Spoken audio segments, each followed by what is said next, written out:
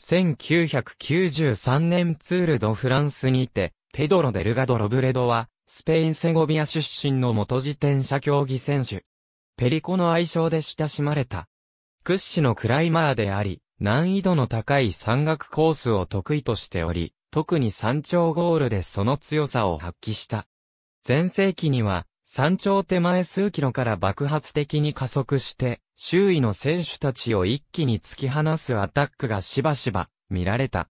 ツールドフランスではリタイアした1986年を除き、1985年から1993年まで8回に渡り毎年総合トップ10に食い込んでいる。1983年のツールドフランスにおいて、途中まで総合トップのローラン・フィニョンに、僅差の2位につけたことがあった。1985年には、ブエルタ・ア・エスパーニャで、総合優勝を果たした。同年のツールでは、最終総合順位こそ6位だったが、総合優勝争いの本命と目される、ベルナール・イノーや、グレッグ・レモンらに対して、山岳コースで果敢にアタックをかける光景が、この大会で初めてツールを紹介することになった NHK でも大きく取り上げられた。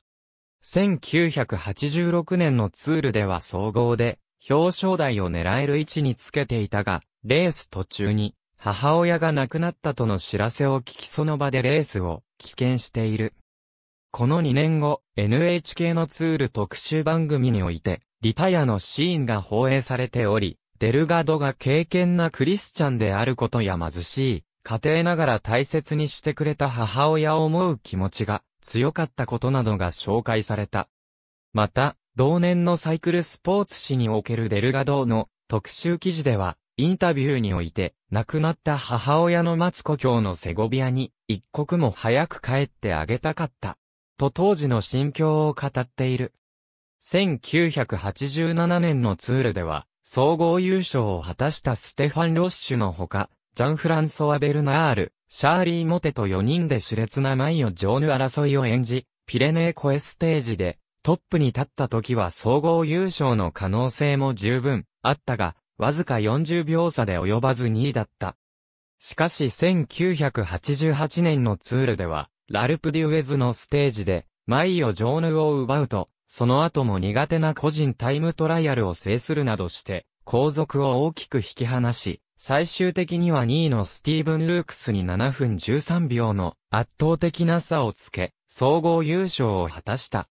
1989年は2度目のブエルタ制覇を果たし、ツールでもプロローグのスタート時間に遅刻して、大きく出遅れるというハンデを背負いながらも3位に食い込んだ。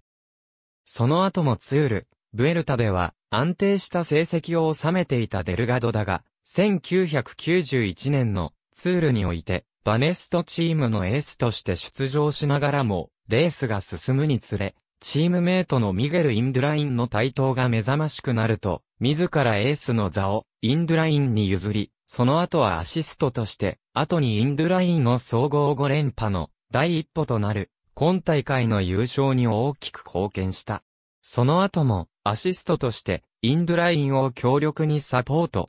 インドラインのツール3連覇目までは、デルガドの献身的なアシストがあったからこそという声も少なくなかった。1994年に現役を引退。現在は、スペイン国営放送の解説者を中心に活動しながら、ユニセフの親善大使も務めている。